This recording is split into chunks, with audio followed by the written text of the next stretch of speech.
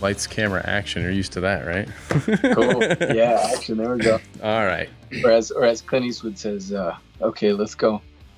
that's it. That's it. You guys, this week on the podcast, we've got none other than the one and only Jeremiah Bitsui. Did I say that right? Bitsui, right? Yes, sir. Yep. Uh, he plays Victor in the very popular series Breaking Bad and Better Call Saul.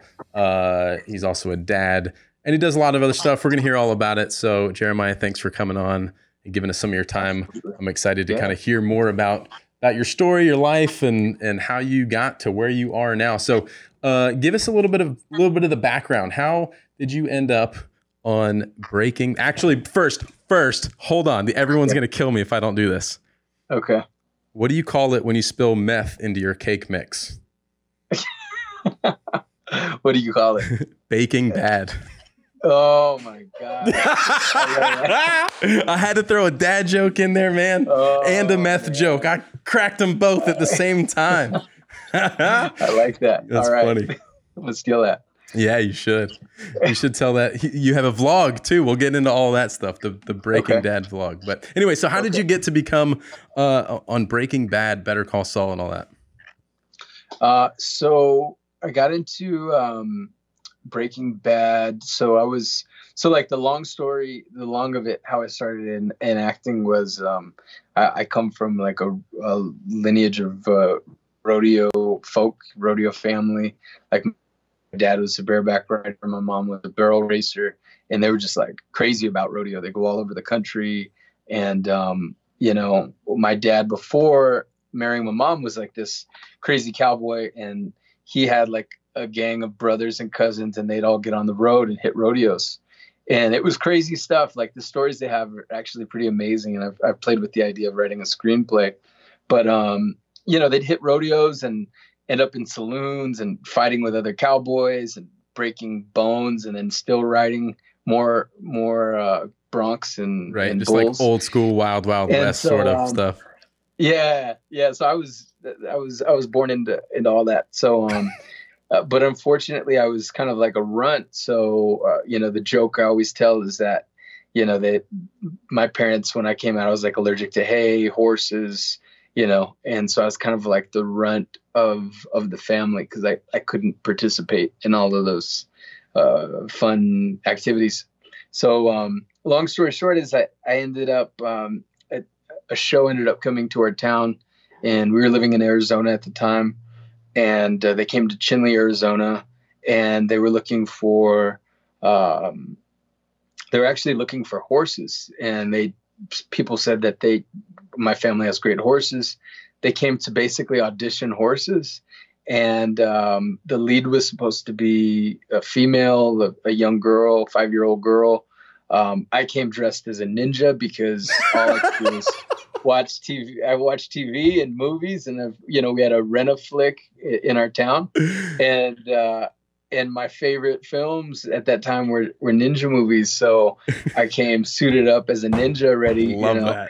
Knowing these guys were from Japan, knowing where ninjas were from, and my mom was like, "No, this, you know," she was totally embarrassed. Wait, how how old were said, you? Well, how old were you? you know, we'll have another meeting, but you know, next time maybe you'll you know you can show your face and and you know so you know next time they came i i uh, they, they kind of took it like a formal interview and they said hey we can't find a female lead for this role. So you know we're willing to change the role to a male and love to interest you know offer you this role. So that was kind of it. And then you know not very many active uh, opportunities after that until i moved we moved into new mexico. Um, i got a role on a movie called natural born killers that was like my first uh, like big that got me into SAG, and then um, you know hit a few other things, and then a movie. I was a big fan of uh, you know various directors and Michael Cimino who directed Deer Hunter. At a young age, like I got into very like deep and dark films, and Michael Cimino was right up there for for Deer Hunter, and um, and so I I knew he who he was, and I had a chance to audition for a film he was directing, as a lead, also with uh, Woody Harrelson uh, as a lead. So I'd be working with him again. Um, and on the day, he just told me, he's like, "Hey, hey, kid, you got the role." He's like, you know, I don't think of I've seen a lot of people. I don't I don't know who else I could pick. He's like, so I'm picking you, and I was like, okay, cool. And um, so I was already, you know, super happy, you know, already kind of cashing my checks, and and uh, and then uh, you know, weeks went by, weeks went by, and this is just the hard side of of film and TV. Uh, they ended up going with another actor, uh, Jon Seda, who's also a great actor uh, but the the um, studio was pushing him, and the money executives and and the producers were pushing him, and they got their way, and so they pushed past the director, and uh, so I was heartbroken. So reason yeah. why I tell that part is because I I vowed I would never even get into to acting again. Um, I now, actually wanted to get in. You you vowed that you didn't want to get into acting again after that experience. Yeah. So I, I turned 15 years old and I was like, I, I didn't want to get in. And, you know, some of the. That's young, business, dude. The reason. Yeah. You're like yeah, making these no. life decisions. I'm 15. That was the, one of the questions I wanted to ask when you were dressed up like a ninja. How old were you then doing that? Oh, I was five years old. Shut up. That's yeah, so yeah, funny. I, I love it.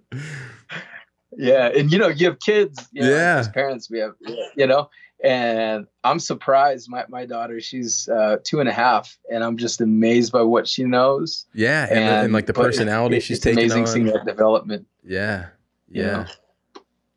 All right, so you're 15. So, you vowed yeah. you'd never do acting again. You wanted to get into directing. I wanted to go back to being a ninja. Actually. yeah, at age at age 15, I was like, I'm going back to being a ninja. I'm going to. I'm yeah, no, I, I didn't want to be involved in it any longer, so I, I kind of stepped away from it. Um, unfortunately, you know, things were kind of uh, things were getting rough where I grew up. Uh, I think that same year I lost like six of like se- six of seven best friends that I grew up with.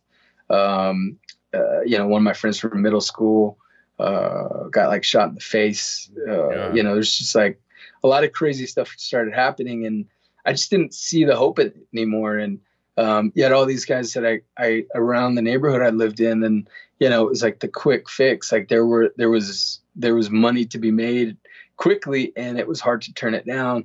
And so I kind of started going down that path, and and uh, and um, and just kind of lost hope from that perspective. And uh, you know, ended up getting shot when I was like right before my 18th birthday. And that's kind of when the light bulb went off. And I was like, I got to do something, you know, that doesn't include um, either going to jail or getting shot. So um, cleaned my act and uh, went to uh, graduated high school and then moved to LA and decided I wanted to try to get into film directing, you know? Got it. So so that brings so you, all that happened before 18. Yeah, that's a lot, dude. Like you got shot. You're, you're playing around. You're doing like, which is just funny. The irony because you're like, I don't want to. I don't want to get shot. I don't want to get. I don't want to get in trouble. All this violence, and then here you are playing this character doing exactly that.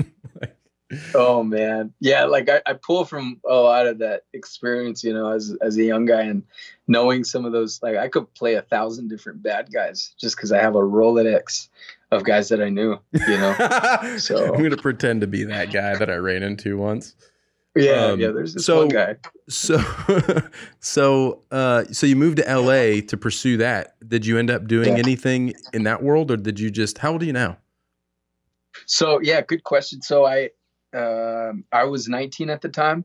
You know, so uh, and I, I won't age myself. So this has been many years many years ago. Uh-huh. Um, no, I'm, I'm, I'm 39 years old. So yeah, 20 years ago, I moved to LA and, uh, you know, got into programs, uh, got into, uh, wanted to go to UCLA and then, um, ended up, uh, into a few film and television independent programs.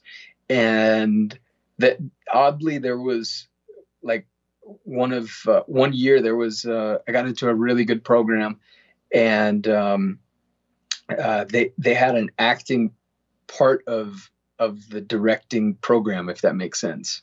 So all the directors they wanted to get us out of our shell and give us a shot at at acting, and also working with each other.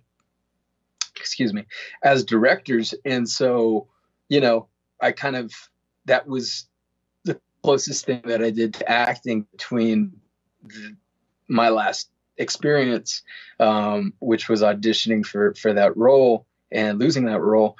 And so I was kind of, it was bittersweet. It was kind of like, all right, I'll do this, but it, your it, heart it wasn't in it. Yeah, uh, like whatever. Felt, felt like home, uh, to be honest. Really? You know, and yeah, yeah. And actually, I was like, wow, this is kind of cool. And um, and then a few of the directors were like, hey, do you mind like, you know, we're all shooting stuff. Do you mind? I have this role or I have a little thing that I'm shooting. And I was like, yeah, sure. Like, I mean, I'm not really, I'm going to also be a director just like you, but I don't mind. And then, um, not too much later, I moved out of LA and, uh, and was thinking it was permanent just because I ran out of money and my first business um, that was supporting me kind of fell on its face. So um, I got a call maybe towards the end of the summer, and I had been, you know, went through like a breakup with my first girlfriend, like all this crazy stuff happened, like, you know, lost the dog that I've had for like 10 years, it was like heavy stuff. And um, so I was just camping out on my on my grandparents' ranch and ended up getting back to my phone. They didn't have any cell connection there. Got back to my phone and found all these calls, and I was just like, "All right, I'll get back to them later." Um, my phone was pretty much on the brink of being disconnected, and I kept getting a call from a 323 number, uh, LA, area code. And it was one of the directors from that program. And they're like, hey, I'm working on Lords of Dogtown as the director to Catherine Hardwicke. Would you like to be, um, would you like to, you know, to come out and audition? And I was like, I'm out here in New Mexico. I was like, I, they said, well, you know, we'll fly you out. Like we can't. And I'm like, what, what's the role? And they're like, well, it's this gangster role. And I'm like, you're in LA. You can't find. You can't find, you can't like, find some gangsters. you can't find some gangsters.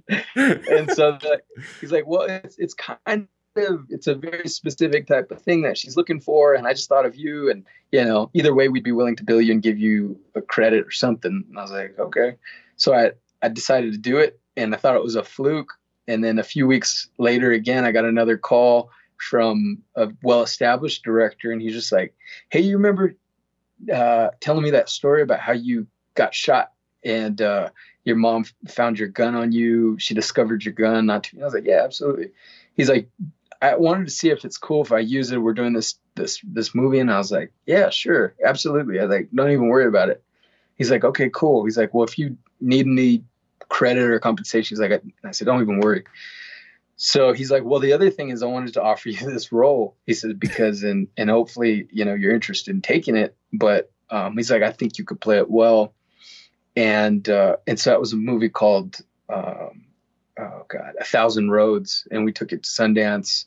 Um, not too many years later, our DP ended up winning um, an Academy Award for The Life of Pi. So that really is what kind of got me in, into the driver's seat of, of acting again. That's cool. And it was just kind of happenstance. Long story short, of course. yeah, that's really fascinating. So they took your actual life experience, they turned it into a scene, a scene in something, or was it? I guess. Yeah, they turned it into like a whole. They, they actually they took a lot of stuff that I grew up with into, put it into this character, and I got to play the character. Got it. And then that then turned into I mean, did you did you do a bunch of stuff between that and then and and Breaking Bad? Oh, okay. So then, yeah. So then I was like, you know what?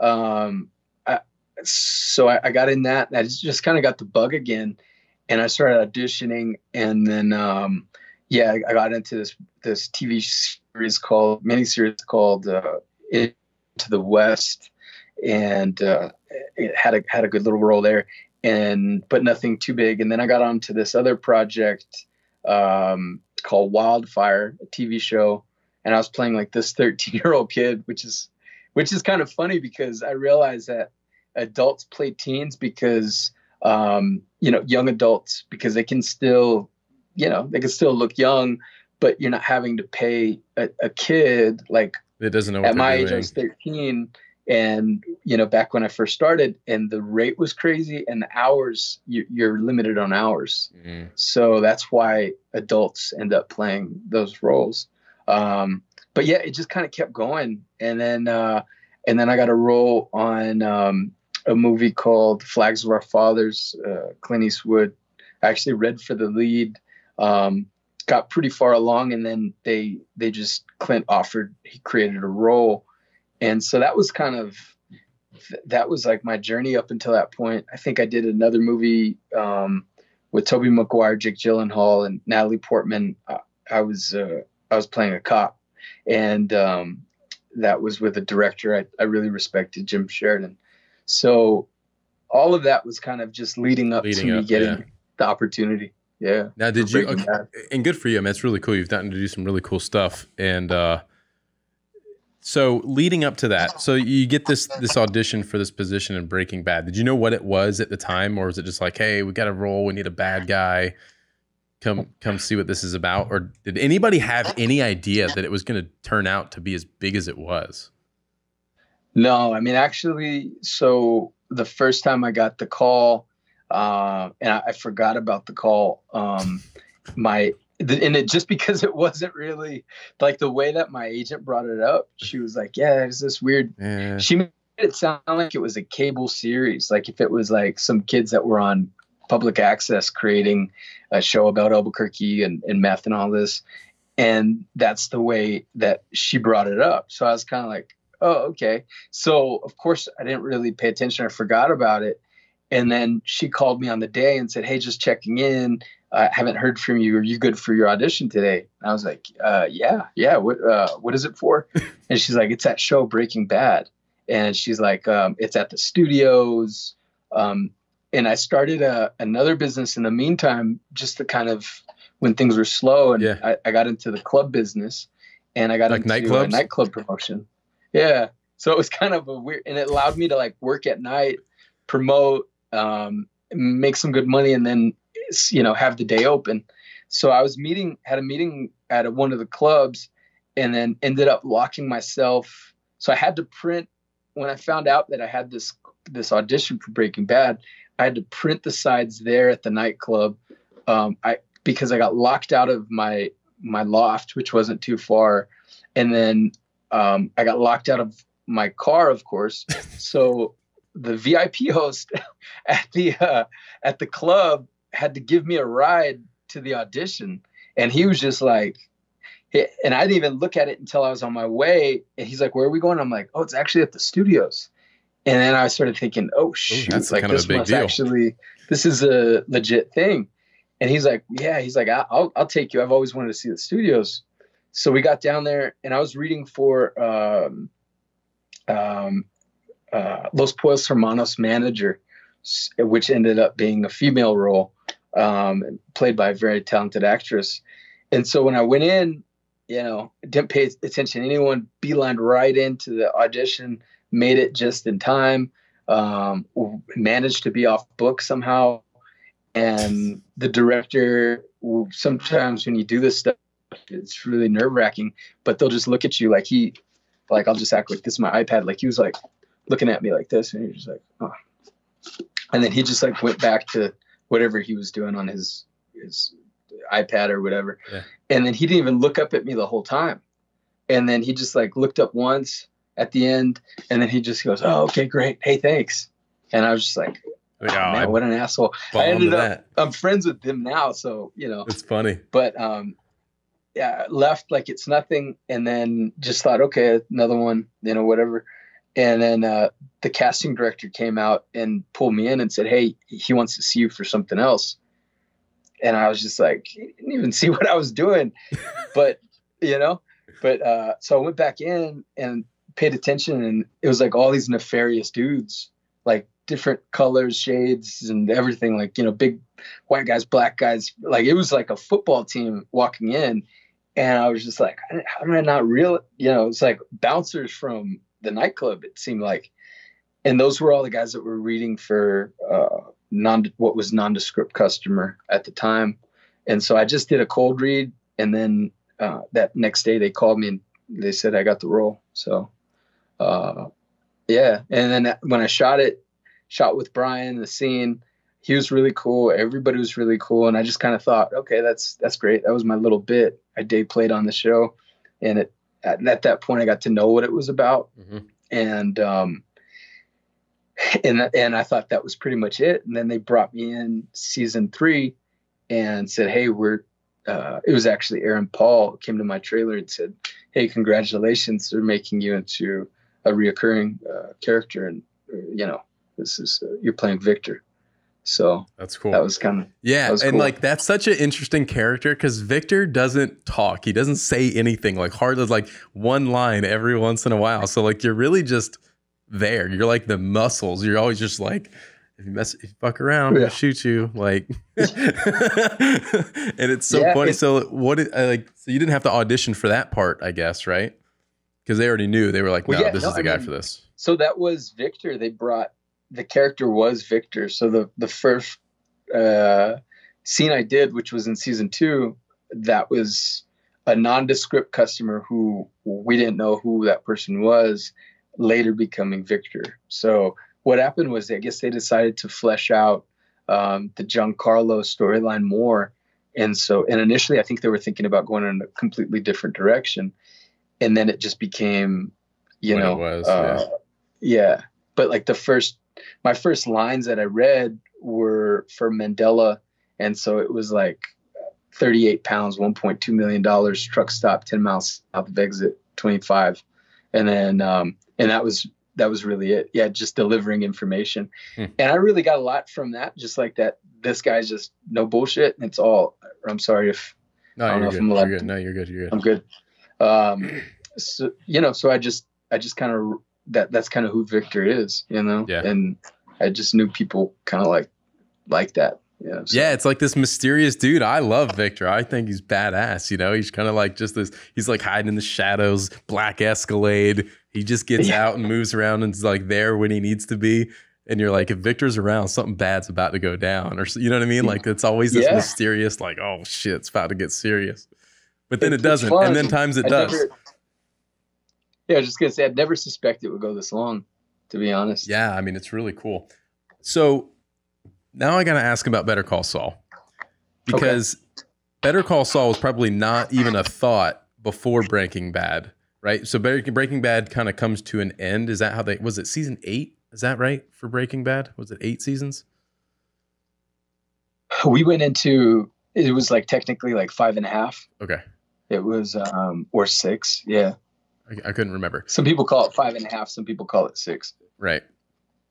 So yeah. then they, they come up with the idea of Better Call Saul afterwards, and they're like, "Oh, let's make a pre prequel to Breaking Bad, and let's introduce Saul Goodman and like his backstory." And that's like going on yeah. forever now, and you've been a big part of that.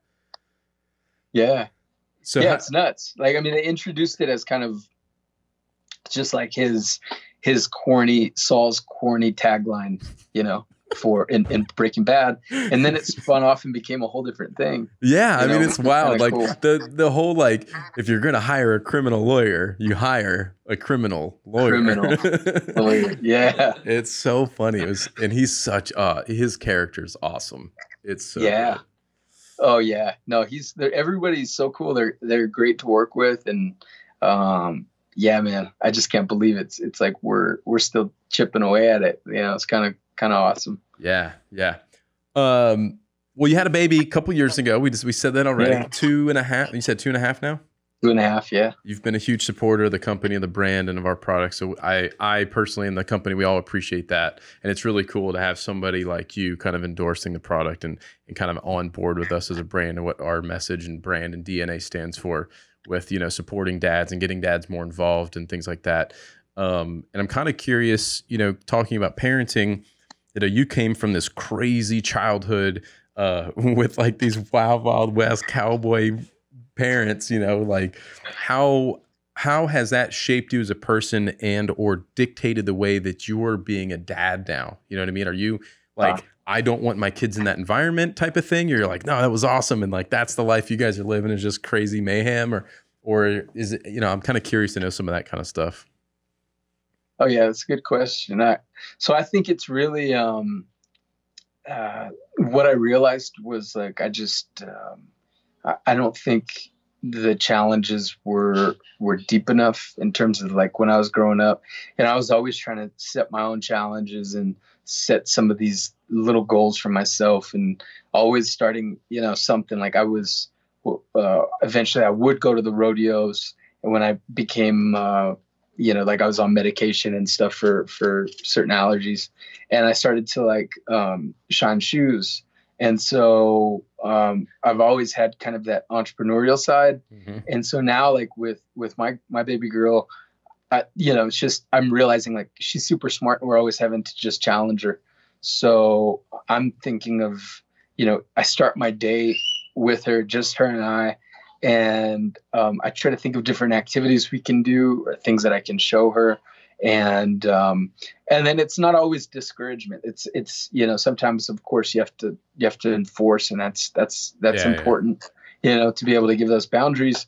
But sometimes I realize like as a parent, you at that age when they're that young, it's sometimes just they may get stuck on like, oh, this is how I'm supposed to do this. And I think we all do, you mm-hmm. know, to a certain extent. Like yeah. the door opens this way and I'm supposed to go through this door. And it's like, no, baby, you, it's dangerous on the other side of the door. And for us, logically, you know, we think of it like, you know, we, we have a, we're in a different place. And so I've gotten, try to, got, I've tried to get better at being able to say, no, baby, let's not do that. Let's go over here. Let's go play. You know, forget that. We can, you know, there's dangerous stuff behind that door. Let's go over here. You know, let's uh, come with me. Let's let's build a hut or whatever. Mm-hmm. And and so just realizing that really kind of helps. I, where whereas before I think maybe I would have been a little more impatient, not understanding. Um, yeah, it's and tough. then I patience. patience is a big deal, right? When you become a parent, you don't read like it really it'll test your patience on many levels right where you have to like yeah it's it's and if you're not patient enough with certain things you don't give the opportunity for your child to learn something because you end up just doing it for them. Um yeah. I think i'm struggling with like a good example right now but um, even just like tying their shoes you get to the point where you're like oh, i'm just going to tie their shoes so we can get out the door. And then yeah. suddenly you learn like your child has never learned to tie their shoes because you always did it for them. You weren't patient enough leaving the house for them to learn yeah. how to and mess it up a bunch of times and no you got to over and under this way or what you know this is a weird example but you get no, the point good example you know what i mean where you're like yeah. you got to slow down you have to change your mindset and just be like well we'll get out the door if we're 15 minutes late to the birthday party we're 15 minutes late you know but she'll yep. learn to tie her shoes you know but yeah. there's there's different levels of that um so but patience is a huge just such a huge part of parenting that you don't realize you have to be that prepared for yeah yeah, and, and I think it's the uh, th- there's a, a, connectivity element to it. You know, they're they're making major connections, and and um, and the other thing is not like for her. At, at least I, I feel like I can explain things deeper and she picks up so much. Well, they're like and sponges at that age. I mean, like those first five, six years of their life, they're just sponges soaking up everything. They're mimicking everything you do. When they start talking, they're going to be saying the things that you're saying. You know, there's a lot yeah. of things that they just and which is why it's so important for parents to be such good role models because they're you're the, you're leading by example and they're watching mm-hmm. that and they're going to mimic that. So, you know, it's so important to to be a good role model, especially in those well, forever, but like those first few years you're like, wow, they're not really watching. Oh no, they're watching and they're listening. So try yeah. to do the right thing. Yeah, no, you're 100% right. And um, you know, it's it, it's it's it's it's cool though. I think like if I think if if I would have um, in in my own development as an adult, like I think if I would have had a, a kid at a younger age, uh, and who knows, you know, this is all just in theory. Yeah. But um, I could see that how that could be hard, you know, because I, and it, the funny, there's a funny story. Um, I was on a, I grew up with some kids who actually had had kids back in like middle school, and um, I ran into them at the LAX airport as I was coming back to New Mexico to film Better Call Saul, and I, I was like, you know, happy, excited, you know, all, you know how you are when you're a brand new dad, and I was telling these these friends like, yeah, you know, I got you know my first baby coming, and their their daughter was already like an adult, so already like literally uh 21 and That's living crazy. on her own and all that. And so they're laughing at me like, "Oh my god!" And so, and you know, I think they had a few drinks at that point, and so they were like getting a kick because here I am, you know, in my late 30s, and I'm I'm finally getting into fatherhood, and and so um, you know, I was kind of like just being a good sport about it.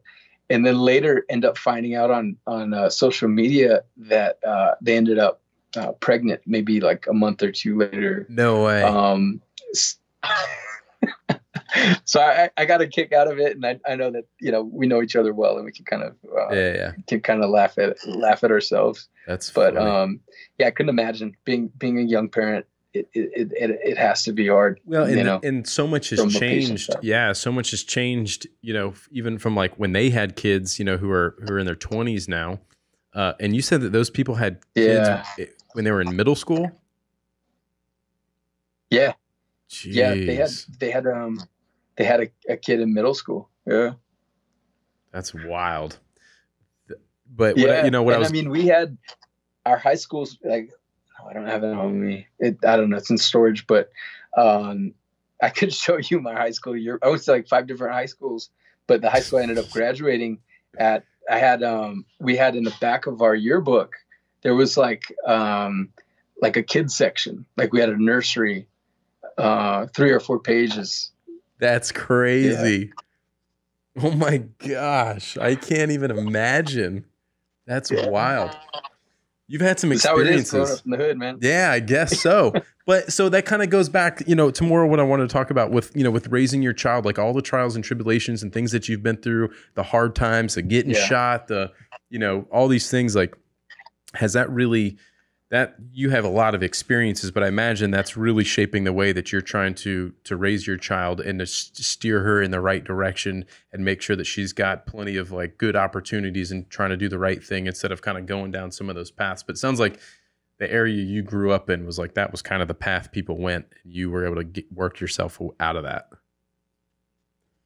Yeah, yeah. I think you know, for now, um, we really, you know, my wife, like her, her, some of her upbringing is completely different, and so the things that she's seen, like she, she lived in Chicago, and um, through high school, she went to a really nice private high school, and um, and so she knows the value of that. So sometimes I tell her these stories, and she's like, "That's She's crazy." like, She's like, "I've never even seen a fist fight in high school." I was like, I've been in, I've been in 80 fist fights in high school, you know?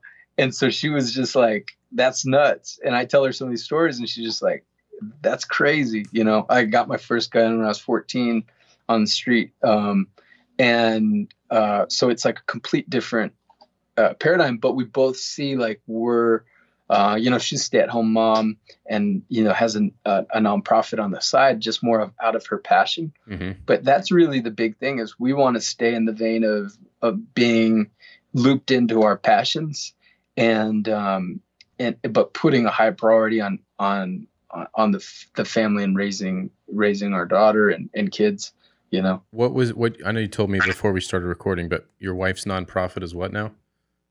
It's called the dream lab coffee. And so um knock on wood thank thank god she decided uh, not to start her coffee shop pre-pandemic.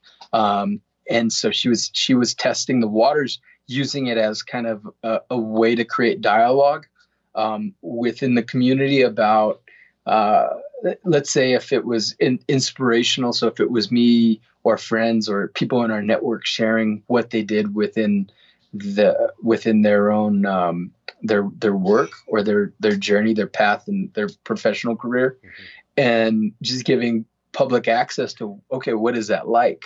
Because we have some really interesting friends um, and i sat on a panel of one and a, a friend was a um, he was a venture cap guy and, and even people in small business didn't know what venture cap was necessarily. So there was a lot of people that were like oh wow light bulb that's that's amazing. And then you know it ranged i think also on the panel i had my agent one of my agents uh, on the panel as well. So um, it, it ranged from that initially and the whole dis- the thing was to be able to kind of create roundtable discussions around coffee because we're really passionate about coffee.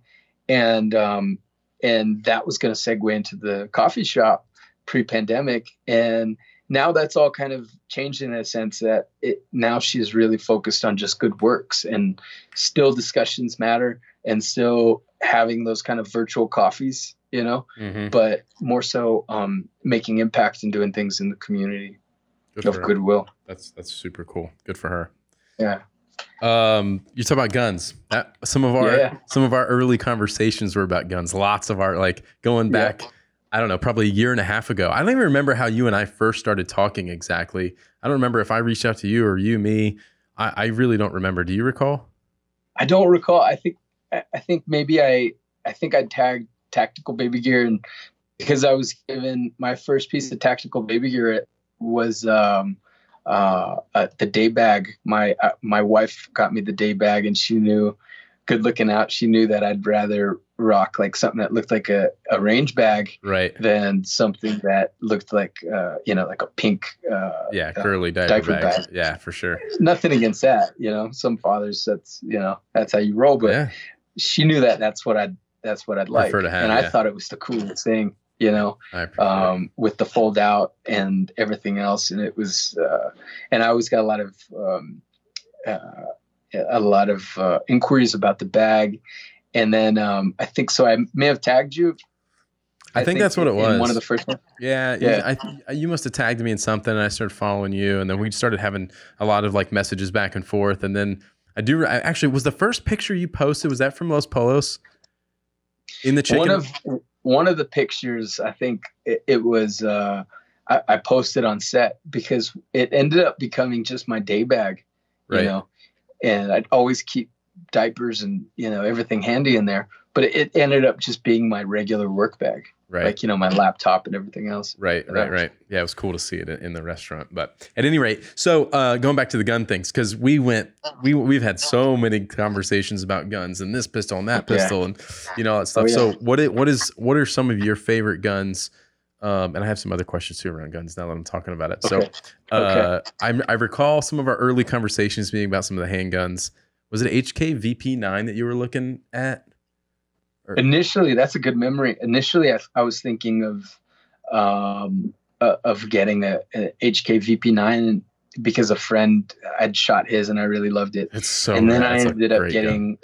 I was like in that market, you know, and Yeah. ended up getting the the CZ, which was the the P10C, which was new at the time, and um and so that's kind of my still my like tricked out range range gun. I, I've thrown some really uh, cool things on it from uh, Killer Innovations. It's pretty much like a Killer Innovations DEF CON gun now, you know. nice, nice. Yeah, What about uh, what about more of the rifle style stuff? You're an AR guy. yeah. I got an um, I built my first actually. So the funny everything I have is like stories, so stop me at any point. Mhm. Um, on Yellowstone, we ended up doing, and there was like at, at first there wasn't like a real set uh, itinerary or agenda. Uh, when it, when I was on Yellowstone, it was kind of like, hey, we have a gun range. You know, you're gonna have some shooting scenes. Um, if you'd like, you know, a production vehicle can take you down there. We can arrange a driver. And so I was like, heck yeah, let's do it. So every day before I shot, I'd go out and shoot and and it was unlimited. Like literally I could take any gun I wanted out and it was unlimited ammo. And I was like looking around like if it was you know, like if I was doing something wrong. Like just like, oh my God, suddenly I can take any gun out. So I was like a kid in a candy store for like two, three days. And then I saw these um uh the um uh one of the armors from the show and I figured he was from the show and uh, you know he had some crew stuff and everything else and he was taking pictures and I figured out he must so I figured I'll go introduce myself and um, he's like oh my god he's like thank god you reached out he's like um, let's go outside let's go talk and and so I went outside and he had his his friend that was helping him who is actually who's LA uh, LAPD SWAT and um, and they were like, oh, thank God. Like we were just like coming to decide what kind of gun and we were reaching out to production, hoping we could have a conversation with you. Can, or do you have some time? Can we like, can we, uh, you know, shoot a few guns and see if you, what you feel more comfortable with? And I was like, yeah, absolutely. So we shot a few like fully auto blank guns, uh, movie guns. And uh, so they had like an AK 47, like you know the kind of like the ghetto blaster AK, you know, uh, no no stock, nothing. Oh, yeah, and pistol, um, like, and then yeah. we went over to the fully auto AR, and and then we we just kind of landed on the on an AR, Right. and so um, so reason I tell that is that armor actually helped me build my first AR. Oh, that's and we cool. became That's really special. friends. Yeah, that's really cool. Once you Yeah. shoot stuff that's Yeah. fully automatic, it kind of ruins you. Like everything you shoot after Yeah. that sort of sucks. You know, I remember the first time yeah, my brother and I we went and rented an MP5 one time, and we were just like, fun switch, full auto, let it rip, and it was like that was awesome. Like everything after that sucks. You know, it'll yeah, ruin you quickly. yeah, absolutely. And I, I play a lot of characters that that shoot uh, shoot guns, Mm-hmm. and um, I was on CSI, and I, I kind of um, in one of the scenes, like I was shooting a uh, a Mac, I think a Mac 11, and in the scene, I'm fighting with this other character, and my gun goes, you know, and right in the scene in this jostle, like my my um, uh, hearing protection fell out. And it kind of like still to this day, like I still kind of have like a little ring in my ears Oh, just no. from that. Um, And those that shooting yeah, because it was blanks. like bouncing off the wall. What was that? Shooting blanks out of those guns, I imagine, on set.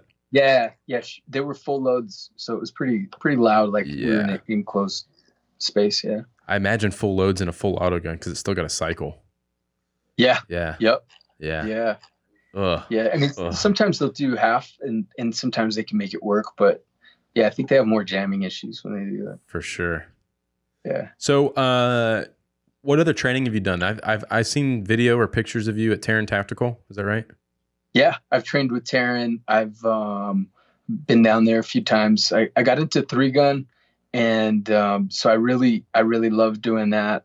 Um, and uh, and so I just try to pick up wherever I can. I train a lot with the LAPD guy from Yellowstone. He en- ended up becoming a friend as well, Mhm. and so he teaches me more like urban combat tactical, you know.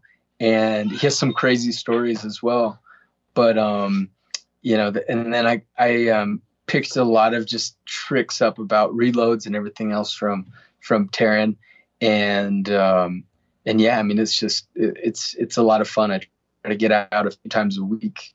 I recently I have a Daniel Defense PDW, Oh, which is a ton of fun, but it's really expensive right now, Mhm. you know. And so I I changed my AR, uh, the custom one, into a 22, and uh, you know that way I can kind of get a little more range time. yeah, just go plinking around. Yeah, 22s are fun, So man. People fun. like knock it like, oh, that's a cute little 22. You're like, you know how fun this thing is? Are you kidding me? Yeah. yeah. Oh yeah, and it's so easy. If you ever want to convert uh, your 555 556 AR, all you do is just Yeah. get that Bolt uh, carrier you group and a the- magazine. Yeah, you, and that's it. Yeah. Yeah. and it's um yeah. So Well, I- hopefully I can take it out this week. Yeah, I may or may not shoot mine 22 converted with a suppressor on it at the house from time to time. Oh, man. My kids have done some shooting that way. Um so uh the vlog, the Breaking Dad vlog. Breaking Dad. Yeah. What uh what prompted you to do that? Um, I don't know. I think you know uh, I, I get a lot of messages on on social media and just you know random questions, and I kind of I started with the idea is like maybe I should do um, a YouTube channel and just do some ask me anythings or you know I've done a few ask me anythings in the past just on Reddit and I kind of thought maybe it, so I was playing with the for the format. Mhm. and then um, I just I thought you know what? It'd be fun to go and just shoot something um, maybe take it on the road and once a month shoot something for like a week and just kind of do a, a day in the life of uh, you know experience. And um, so the first one was actually we we were going from SHOT Show uh, to LA for the Breaking Bad experience and then uh, up to Sundance for the film festival so that was kind of we got a few episodes out of that hmm and then we had some other cool things planned uh, pre-COVID, and then Yeah. we kind of got punched in the face by Yeah. uh, by COVID. You know, So- I've done a lot of vlog stuff for myself and like you go I go through this mixed bag of emotions around making my own videos and initially I and it always it goes back and forth. So some of my early thoughts were like, man, I want to document some of the stuff. We're traveling the world. We're going to Hong Kong. We're going to Vietnam. We're going to China. We're doing all these different things. And um, like it'd be really cool to, to document that and share some of those experiences, but also share some of my knowledge that you know around business and e-commerce and and and social media and marketing all this stuff like share that information with people who are watching and hopefully they can learn something from my experiences and it helps them you know be a better person whether that's like they learned how to do something on their website and now they can make more money and like that was because of me or whatever like those those types of things that would be really you know really cool yeah. um so i did a bunch of that for a while for probably a year of just like documenting documentary style vlog stuff um, yeah. where it wasn't always me filming, people following me around, and I just trying to share informations or tidbits from meetings or stuff like that, kind of like Gary Vee style stuff, right? And then yeah. that became sort of impractical uh, to a point where like bandwidth just wasn't there, and like trying to edit these videos and get them out, and like we're trying to run a very rapidly growing company, and like trying to really focus on that and not get distracted too much by other things and whatnot. So I kind of like laid off it for a while, and then I was like, no, like I really want to share some information. I want to build an audience outside of this company uh, for various reasons. Um, I'm not trying to make money off of it. I'm not trying to monetize it. I just want to grow an audience somewhere else. Um, that way, if if we go out of business one day, or if we decide to sell the business one day, or whatever, like I still have a voice somewhere outside of the company. Mm. You know, so it's like let me let me tr- can, let me get back on you know try to build yeah. this YouTube channel and try to try to build that up. And um, then that kind of went kind of south again, where I just didn't have time and you know, YouTube's a whole nother beast. Like you can't just throw a video up on YouTube and be like, oh yeah, everyone's gonna see it. Like it just doesn't yeah. work that way. It's it's like a full time job, yeah. and it's uh it's difficult. You you don't always get to decide like, oh, this video's got a great thumbnail and a great title. Like it's gonna crush it. Like no, it's not. Like you're gonna get 30 views and be like, why am I doing this? and then you get but you know it's like those happen right like you, you've experienced it i'm sure it's like you get those 30 views but then you get the one text or email or comment on that video that's like this helped me so much thank you so much for everything you're doing you know i can't tell you how much this has helped blah, blah, and you're like all right right that's why i'm doing this it's not for the 30 views it's to help these people you know yeah and right now more than ever i've got more motivation and more drive to want to do that stuff i just don't have the time yeah. I'm so busy with things going mm-hmm. on and we keep hiring more people here to help do things, but like it's just making it's almost making me busier in a way in in other ways that are good, but it's just like not allowing me to make those videos that I want to make that like soothe my soul cuz I know I'm doing something good for other people. It's not yeah. like tr- just trying to make money, you know? So Yeah. Yeah, no, I hear you and, and it's really just kind of what I think is making a discipline out of it, even though I haven't kept it up. Mm-hmm. Um, and uh, it, but it is it's tough because um, you know I mean there's just other pieces of life, and then sometimes you find yourself like awkwardly trying to shoot something, and then you're like ah. God, like, you know, this, is just, this, is, this is messed up, man. Yeah, yeah. Know, I don't have time, or, or then you just forget. There's times where I've I've turned the camera on and thought, oh, this is gonna be this, and then I get wrapped up in a call or conference call, and then it's just you're like, you whatever, know, screw this. Forgot yeah. all about it. Yeah, well, that or you're just not in the right mindset. I mean, I'm sure for you as yeah. an actor, like you have to really be in the right mindset. Like when we when I shoot a video, I have to put myself in a certain mindset to be able to like be creative or or or know what I'm gonna say on this topic or whatever. Like everything changes when the camera comes out or when the record button gets hit like yeah. you're, you're, like you either kind of like freeze up you're like ah what was i going to say? Like no that sounds dumb. And then you start questioning yourself and you're like ah there's this is going to be stupid. Why am i doing it? Or you're just something comes up you get that phone call or that text message and then it takes you completely out of that mindset you were in. You're like oh, i gotta put out this fire. And then you're like screw this camera I'll, I'll do this another day and then you just don't do it it's tough you don't man. yeah and, and and I think that's you hit it on the dot. Um, it's it's really uh, the the thought of I guess kind of being too much in your head.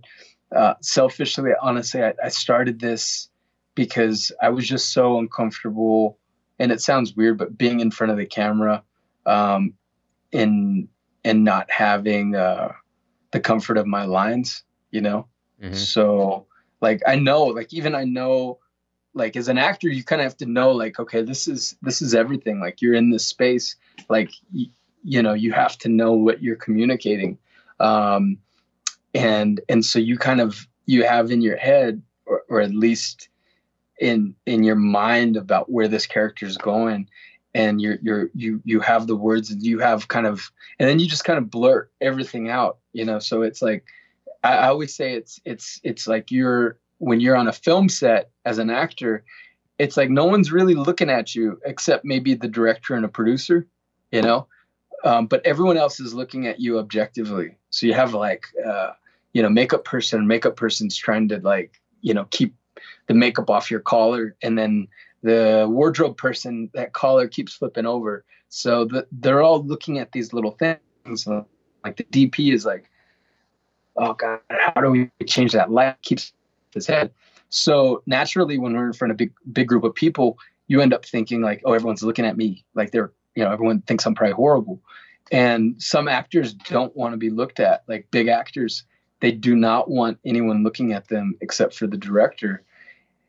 And you know for me i i realize that there's a practicality like no one's really looking at my performance like the the the sound guy he's just concerned when i reach that peak and i keep blowing out the sound. You know he just wants me to be at a consistent level.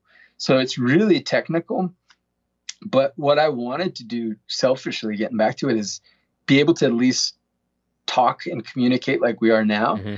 and not having to be so caught up in like what am i thinking what are we doing? Like what in my head you know? Yeah that's tough though. That's kind of a two-way street. I feel, and it's interesting that you say that about being on set because it's like filming a video for yourself youtube video or whatever is such a different animal. One because a lot of times it's just you and the camera. Like you can go hide away in your room and when there's no one else in the room it's way easier to talk to the camera than if yep. there's other people around or even you know in the house whatever you're like ah, i sound like an idiot. Like you know you have those weird like internal battles with yourself. You're like ah, i don't want these people hearing me record and messing them up and saying it again and all these things. That like i've been through a thousand times. Now i just don't really care. But yeah. it still messes with me a little bit uh but like on i to me in my head and this is i think will be interesting to hear is like a lot of those types of things of like what needs to be said, who's moving where, what the action is, you know, like that's almost predetermined by someone else. And you don't have to think through that or what the story is or all these things. Like you just, I'm supposed to go from here to here and look angry at this guy and get in the car and leave. Like, to me, that seems so much simpler than trying to come up with what you're going to say and what the story, what the hook is going to be and edit it and like it's so it's like predetermined by someone else for you. It's, that to me seems so yeah. much easier. Yeah. Yeah, no, it is. It really is. And I mean, you, it's not like you could just switch it up and be like, actually, we're going to go into that field over there. It's like, oh, no, you're not. we, have we have this whole army of people lighting you and dressing you and making sure that you're. How many you know, people are on a, how many people are on a set typically? Um, it depends. So uh, it, it depends on a few things. If we are doing like a big special effects thing, uh, you know, our our makeup department increases, our wardrobe department increases, and then you know, depending on the the special effects, sometimes the stunt guy will be there. So it's really the stunts, uh, special effects. Anytime we're doing like the box cutter thing, I mean that was like everything inflated. You know, we mm-hmm. had a, a, huge. Uh, the crew goes up because they're bringing in what you call day players, um, which are additional resources for hair, makeup, wardrobe. So the the crew list jumps. But I would say, you know, it ranges somewhere between um, uh, maybe 90 to 150 people somewhere. Dang. You know. And you play yeah. all, you do all your own stunts, right? You're your own stunt man. Oh yeah. yeah. Do all my own stunts. I just I I always tell the uh I always tell the um there, there's a guy named El Godo and he's he's a great stunt guy and we always end up um end up uh, working together and one year the year of box cutter I died like three times and he played he was my stunt guy in each death and he's like, bro, you got to stop dying. I'm not going to have any work. and I'm like, all right, just keep dying. And then you have a, a ton of work. Yeah. You know? Yeah. So, so, funny. Yeah. I was getting t- uh, typecasted as the dead guy for a while. So, well, yeah, you're like the uh, drug dealing shooting dead guy. Like, jeez, it's so funny. but it's What it- fun. What have you had more fun doing? fun have you had more fun doing Breaking Bad or Better Call Saul, or do you have a favorite between the two, and like which which show you like more? And do you watch them? Do you go back and like watch them with everyone I else? Try, I, I try to watch as many as I can, and um, I think Breaking Bad was kind of unprecedented. You know, anything that if you've already been through it, you know, there's kind of there's something about you know there's a familiarity, and you kind of like in this sense, everyone is new. You know, now it's like everyone actually is old. Like we all have been together. We're all 10 years older and so we're all you know we're all old to each other. So it's kind of um you know we get grumpy with each other sometimes. So we're like a family now at this point. So that's kind of nice um which is irregular you know in film and television. It's kind of like we're in this weird um gypsy uh you know like we're in the circus and so you end up running across some people that you work with every once in a while um, but at the same time it's really small so you have pockets like in New York.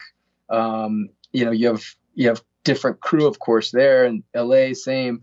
And then if you do a um, a project that's more international, or that's then it's kind of a hodgepodge of people from different areas.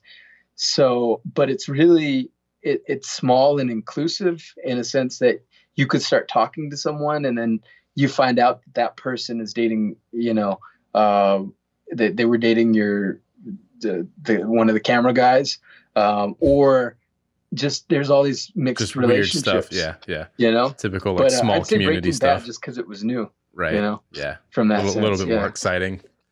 Yeah, Yeah. brand new and exciting and unprecedented. I guess at that time there we, we really weren't at at that peak of where we are now Right. in terms of television. That's wild. What do we have forward to look to? Uh, look, how, what do we have to look forward to? Is what I was trying to say. We- um, is there any more Breaking Bad stuff coming? Uh, Breaking Bad, I don't think so. I mean, I think they kind of closed the lid on Breaking Bad. Um, Better Call Saul, um, but who knows? You never know with Vince. It's like you know, uh, you, never know with Well, it just takes a good idea Better of like, oh, I know how we can revive this, right? yeah, Kind of like, yeah, oh, I know how we can keep this story going. Yeah, yeah, because ultimately that's what it comes down to, right? Is the storyline. Like, how can we keep the story going? Yeah, which is and which is funny because it's like it's 10 years later but we're playing um oh what it what would it be 6 years prior Right. to Breaking Bad. So it's kind of becoming physically uh it's getting harder, you know, as as we go on. Um we all have to try to be as as young as we possibly can uh and defy nature from Yeah. that sense. Yeah. Has But, it has um, it been tough for a lot of the characters to like remain looking the same throughout all of this too? Um, I think more, uh, you know, I think everyone's pretty healthy. Um, but on the side of, I think hair and makeup, you know, that's really up to hair and makeup. Right. Like right. they're the ones, they're the geniuses that, that, that drop, you know, years off of us.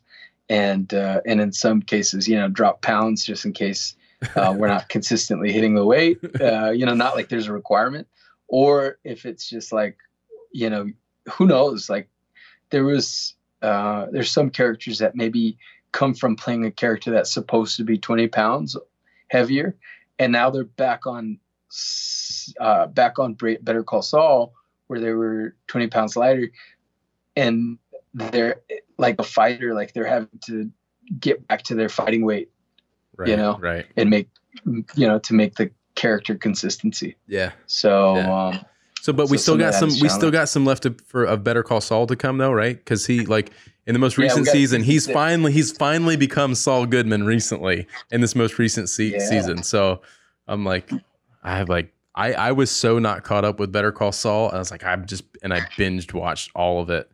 I think right around the, all the COVID stuff, I was like, well, I'm home now for a while. Like, let's get caught up. I watched The Tiger Nice. King. I, I got caught up on all the Better Call Saul, like all of it.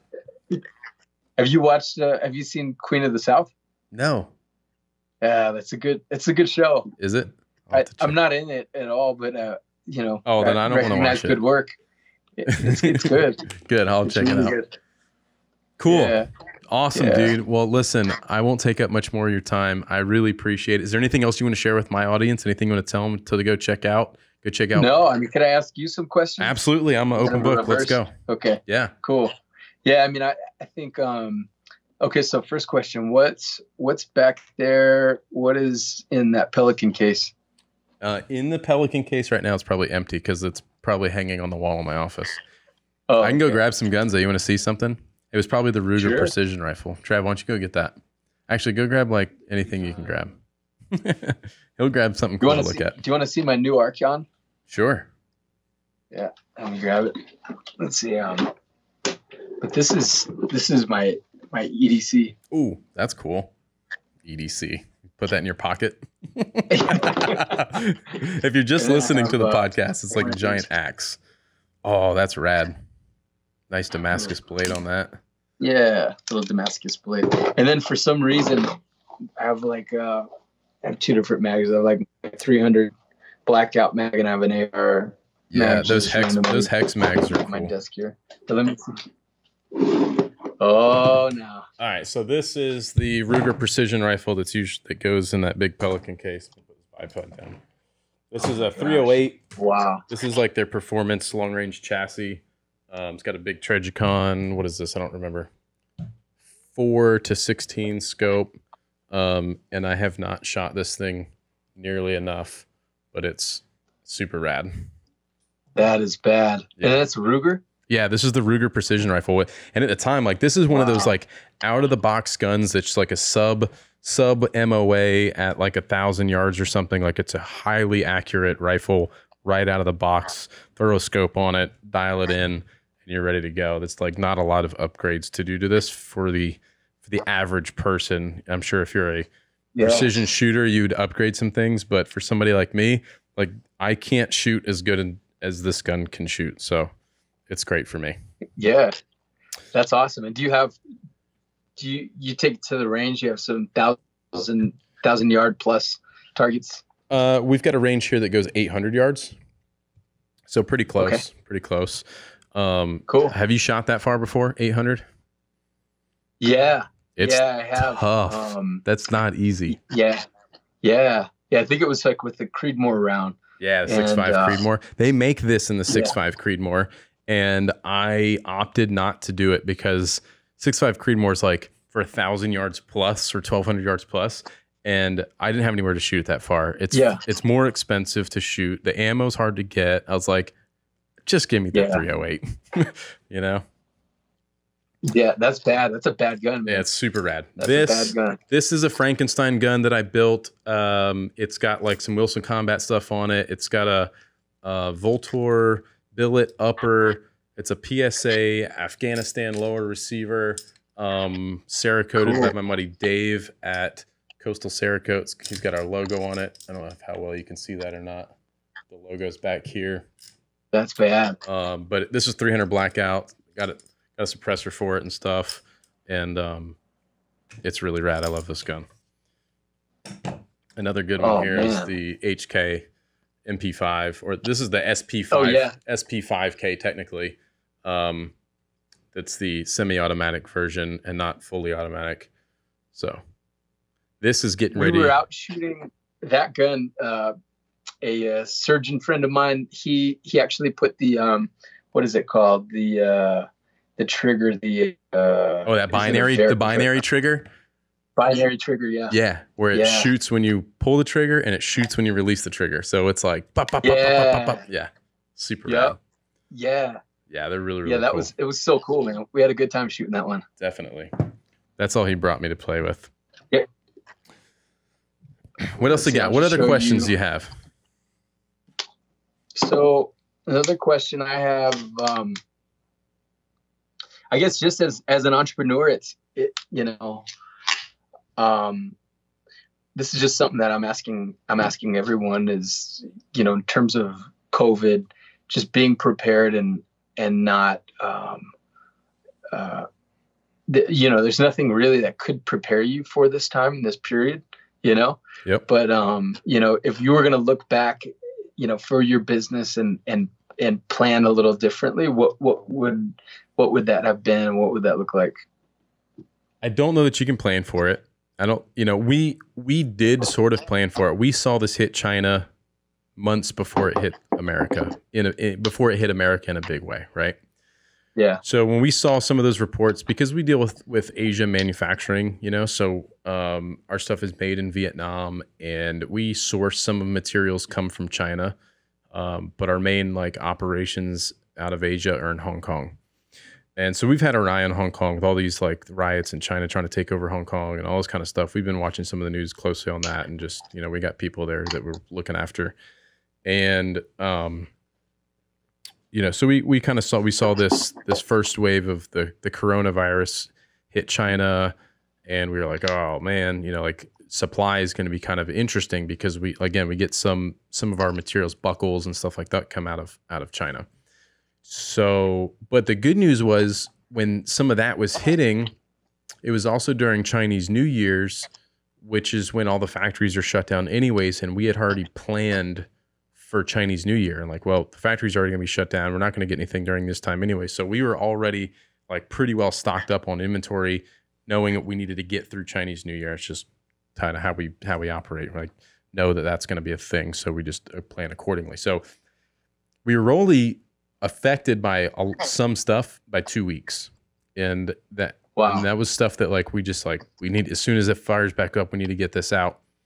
And so we were only like two weeks of a delay on something we needed to come out of China, which in the grand scheme of things is nothing. Like two weeks, all right, cool. So we like we dodged that bullet. Like that's no big deal. Um, and then when it really started to hit the U.S. and they started doing all the travel bans and all this stuff, and you know we're going to start doing quarantine at home and stay home for two weeks, and that was what March, I think and it was like oh shit like here this is the beginning of the end like that's it we're screwed you know like the whole world's going to shut down and like thank god we're in a good way financially and like we've got good inventory and you know we'll we'll just see what happens you know? And um we my business partner alex is like unbelievably smart and he's like a super nerd with numbers. So he did he did some stuff financially for us to just make sure that we were going to be good and that we weren't um, that we were just had you know plenty of cash to get us through if we needed to. So that was really good. He kind of saw this coming, so he was like, so you know, very on the front end of like making sure that some of the things that we could do, even through the the PPP loans or you know um, payroll yeah. stuff and all those kinds of loans that were available to businesses, like we were on the very front end of that. And um, then sales sales really kind of tanked for like a week in that initial week of everyone like not going to work and everyone sort of just stopped doing anything except for buying toilet paper. Mm-hmm. Everyone was buying toilet paper.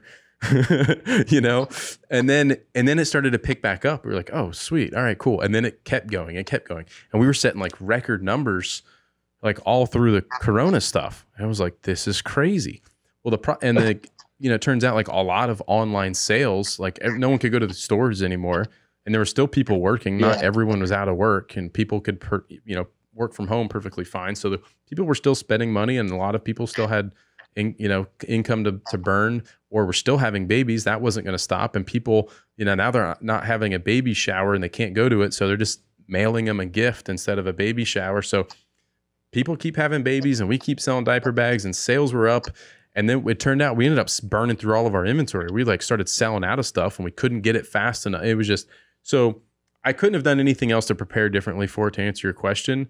Um, aside from like forecasting that sales were going to be way up and we were going to sell more and I would have ordered more stuff, which, but I would never yeah, have known that. Which is be impossible. Yeah. You know? Yeah. Then you'd have a cash flow issue. Yeah. I mean, that right. seems to always be an issue with a business when you're having to buy inventory like that. But yeah. But at any rate, that I don't know that we could have planned. I don't know that I would have done anything different. Yeah. I don't like yeah. have any regrets or like, ah, oh, we should have done this or yeah, we're yeah. super fortunate no, I hear for you. sure. I hear you. No, that's good. That's great. That's it's wonderful. It's cool to see certain businesses doing doing really well, and um, and I think people are having uh, more of an appreciation for. I don't know. I guess you know, local business, small business, you know being able to buy from uh, you know really unique items i know i'm i have more time so i you know i'm able to look and, and see um, you know, rather than just buying something from a site that I normally go to, it's you know now I can kind of research it a little bit more, find something yeah, a little something cooler. really- yeah, Yeah. you know, Definitely. and um, and yeah, but on the business side, like for us, it was the same thing. We got through that the PPP uh, program, and then um, and then it kind of shifted. Like you know, I have a general contracting construction company, and what um, don't you do? actually- you got you do it all. what's I'm saying what don't you do? Oh man, it's and thank God. I was just gonna say thank God because the acting stuff is impossible right now. You know, so with the exception of residuals, which is kind of nice, um, and everyone's watching TV, so keep watching TV. Um, but but you know, with the exception of that, it's like you know, uh, the the construction stuff is still deemed uh, essential work. You know, so Yeah. um, so it's been nice to be able to still have that as a function. But honestly, it's it, it it's hard not to start climbing the walls a little bit. And Yeah. uh, you know, I, I used to travel a ton with the family, and so uh, it- you know, now we we haven't been on a, a plane, of course, for you know four or five months. So Mhm. kind of crazy. Yeah, it's super crazy. You know, the only thing that I think uh now that going back to your question running through my head of things that I would have changed, and it's not so much on the business side, but on the home front with the kids, and like they ended up being homeschooled. Uh, you know, for a while, it was all this online virtual learning stuff, and you're in Zoom calls with your teachers and other kids in the class, and you know, like we, I don't think, I don't think most parents in America were ready for that. Like, it takes a very dedicated and and certain i think type of person to be a teacher and i think it's gotten a lot of appreciation for teachers uh, for sure um, Yeah. And you know my wife is she was like i am not a teacher. I am not good at this. I don't want to be good at this you know but like you have to adapt and overcome and figure it out you know? Like you can't just you can't just keep your kid and stop the learning like and now it's just continuing and we don't even know now if we're the what the kids are doing with school in the upcoming school year that's supposed to start in the next like 30 days you know? So it's like what does that look like? So it's like Crazy. so that's been wild. And you know you haven't had to deal with that I, I guess because your daughter's so young but and i don't Not know yet. and it's going to change i think it's going to change the way you know schools operate f- probably forever. Like i think there's going to be a lot more online learning for younger kids now. A lot like colleges went to like online college plat you know route. I think that we're going to start seeing more of that even in the elementary school uh ages. Uh, so that's going to be interesting Yeah. I don't know, man. It's just a it's just a wild time, and then you know, with, and then everything else with all the, the the political stuff and you know all that's just crazy. But It is. I it's, can't it- even. all of it, like the timing of everything. It's well, like the, the yeah, and it's like you got the virus happening, and then you've got the the it's an election year, so you've got the the political stuff going on, and then the racial Yeah. movement going on.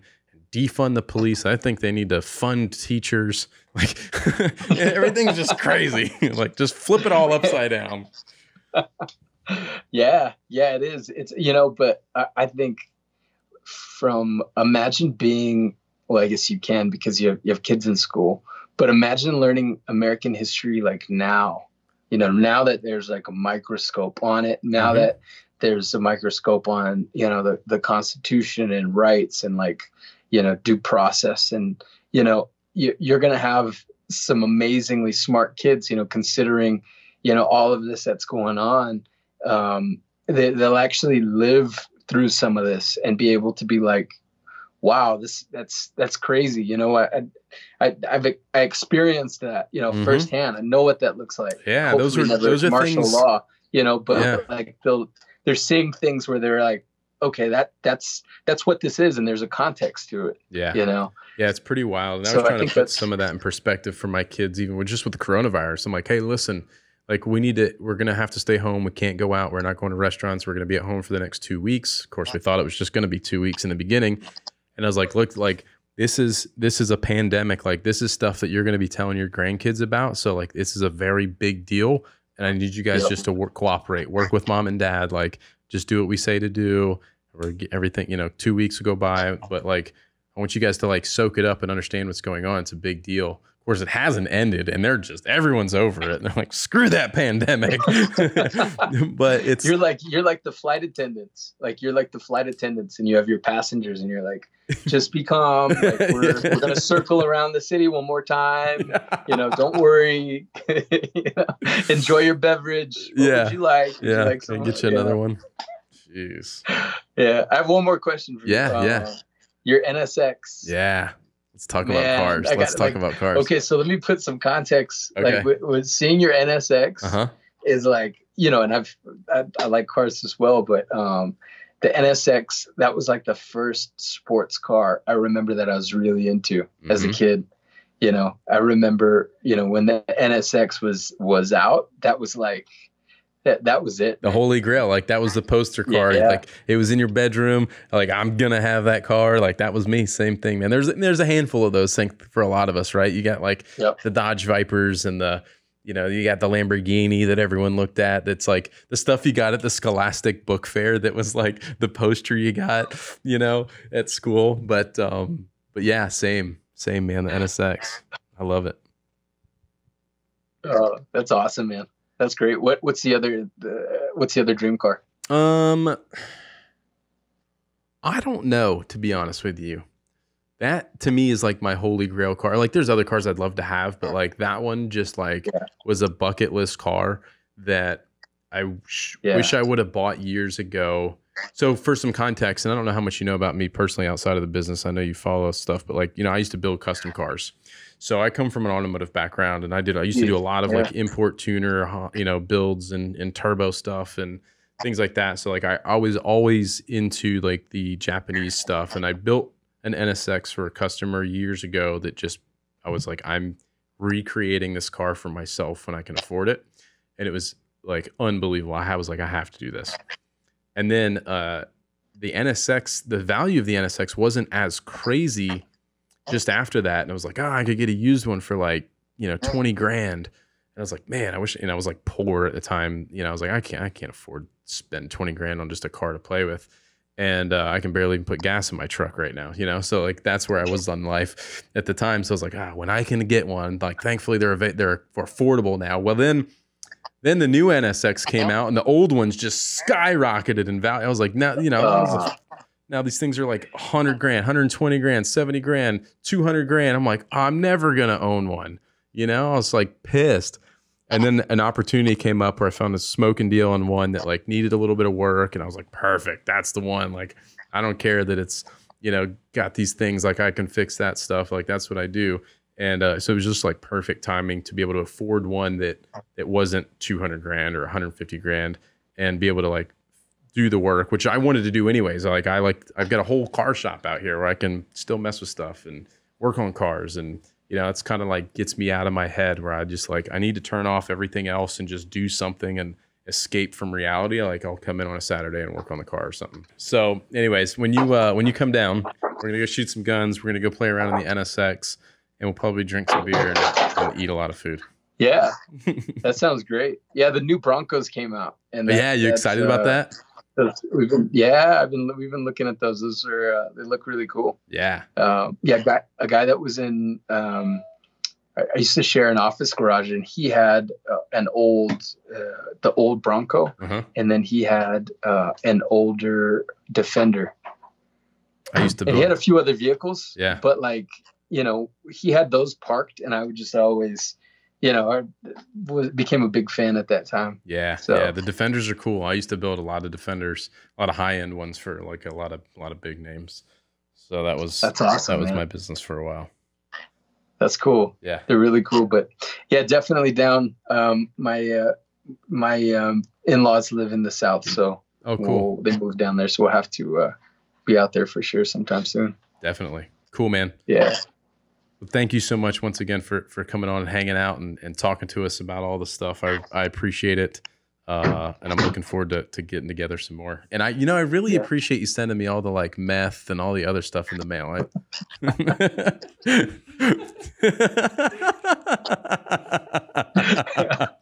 send it all the back. Yeah, yeah. It's rock candy. It's rock candy. That's, That that's was fifteen to twenty-five right there. Thanks, bro.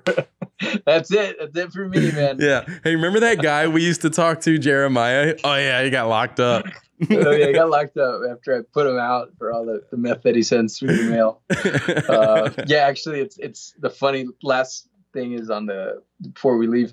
Um, it's actually candy if you you haven't eaten it yet. yeah, yeah, it's Um, rock candy. and we used to we used to eat it on set and so aaron paul and i would be sitting there talking and just eating the stuff. And then you know when you're when you're an actor you set all the bad habits on set. So then we had other crew coming by and taking scoops like oh man you know it was great. And putting it like you know in their gear or whatever and just munching on it. And then we'd keep knocking the scale off because they wanted it to so they would like have a real life uh, it would have to make the real life weight. Yeah. So they'd have to keep telling us, guys, quit come eating on, it." Stop eating all the stop eating all the meth. You're messing up our uh, our scale here. That's so funny. So is that what you guys used in the show then? Was it rock candy as a prop? Yeah, yeah. Uh-huh. The same stuff I send you is what we is what we use. Got it. That's cool. Yeah, That's Yeah. awesome. I, I and I appreciate that. You continue to send the stuff and the letters and the and the the, the patches and all that kind of stuff. So it's, really cool. yeah, yeah. Thank you, and we'll we'll send you some so you can uh, sell them on your site There you as go. well. Yeah, the patches for Yeah. sure. Yeah. Yeah. Uh, right. Can people listening can they go uh, buy that anywhere from you currently or no? Yeah, they're on our so breaking breakingdadtv.com. It's on our site. Actually, hold on. Let me just well we're I don't want to give you the wrong. I guess you could pop it up and post, right? But um Breaking Dad. Okay, so it's breakingdad.tv Got it. is the website. Cool. Yeah, not Breaking Dad. Uh, to get that right. So yeah, Get your that's shit our together. website, and you can purchase it. Yeah, and tactical baby gear soon Yeah. to come. yeah. Yeah. Yeah. We'll get that set up. For sure. I'll be happy to sell those. Awesome. Dude, thanks again so much. I really appreciate it. Uh, thanks for everyone that's listening. Uh, make sure you like, comment, subscribe, leave ratings, reviews, all the things. And we'll see you on the next episode. Peace. All right. Thank you guys. Thank you. Shout out to Tactical Baby Gear. And uh, you guys keep doing your thing.